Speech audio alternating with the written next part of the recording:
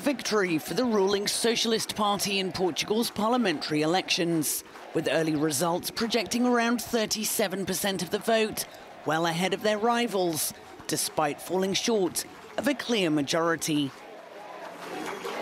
Party leader Prime Minister Antonio Costa thanked everyone who voted and those who abstained. But he bemoaned this year's poor turnout and said all parties need to reflect on how to increase voter participation in the future. Those who did vote appeared to reward Mr. Costa for the last four years of economic stability under his coalition government including reduced unemployment, a record low budget deficit, and economic growth higher than the EU average. He said Portuguese voters had shown they wanted to stick to the past four years' pact with far left parties.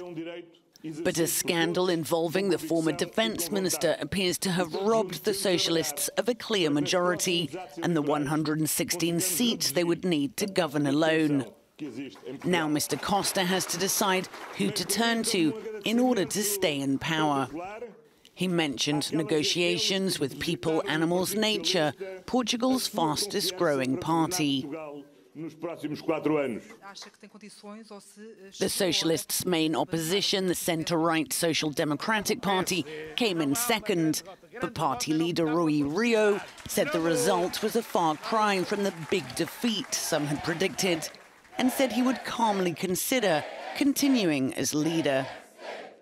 Euronews correspondent Ana Serapikos is in Lisbon.